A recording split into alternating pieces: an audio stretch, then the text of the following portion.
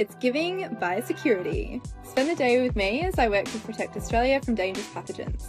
CSIRO's, Australia's Centre for Disease Preparedness, is a high containment facility where we can safely research the most dangerous infectious agents in the world. So, first up, we need to get changed. Anything that goes into our secure area can't come out without decontamination. So, we're going to leave all of our outside troubles and clothes behind.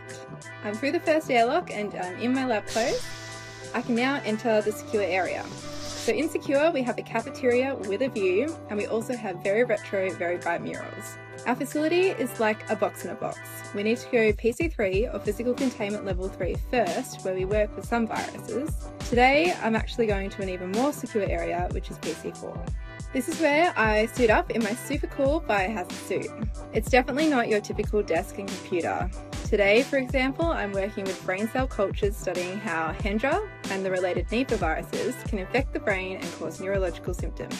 Our biosafety cabinet I'm working in is another level of protection between me and the viruses I'm working on. Obviously, we can't eat, drink, or go to the bathroom in here, and all this work has made me hungry, so it's time to get out of here. Before I get out of this gear, I have to decontaminate my suit for 7 minutes in the chemical shower. I take my first personal shower and wash my hair before getting my lab clothes back on and head to my second shower where I wash my hair again. Finally, I'm out of the secure area in my normal clothes and heading home for the day.